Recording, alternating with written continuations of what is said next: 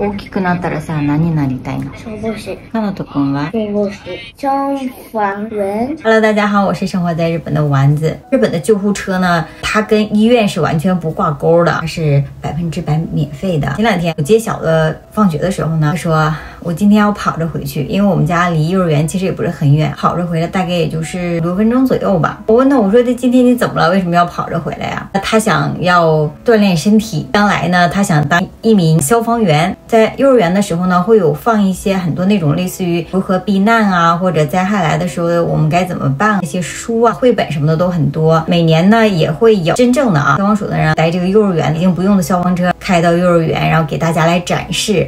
呃，老二呢就非常向往啊，他想当一个消防员。大きくなったらさ、何になりたいの？消防士、かなとくんは消防士、あれ消防員って言うんだよ。消防員。员。消防士は大変だから、これからさ、ご飯いっぱい食べて、体を期待しなきゃいけないの。どんな仕事するの？ホース持ったり、運転したり。日本的消防员呢是属于是地方公务员嘛，你在高中毕业的时候呢，你就是可以去参加这个考试的。当然了，就是大学毕业的这个招聘人数呢，会比高中毕业的人数呢要多一点，它需要你考一个国家资格证的。日本的消防署呢，不单单是呃消防，呃救护车呢，它也是消防署的。比如说我们在打幺幺九的时候呢，他会问你是火灾呀、还是急救。日本的救护车呢，它跟医院是完全不挂钩的。救护车在运输患者的这个过程当中呢，它是百分之百免费的。救护直升飞机，这个救护直升飞机呢，一般的人他是没有办法去，哎，我叫一个这个救护直升飞机来吧，这个是不行的。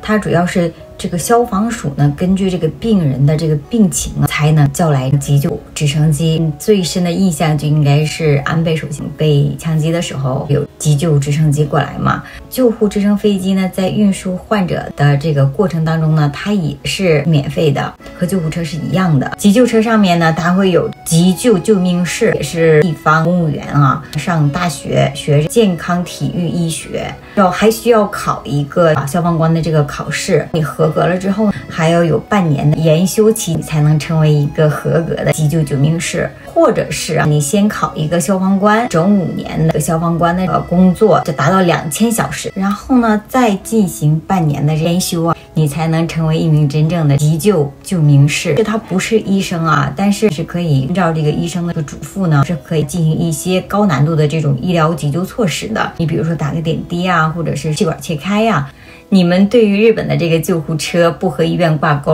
而且是免费的这件事情是怎么看的呢？嗯，好了，那我们这期就聊到这里吧，我们下期再见，拜拜。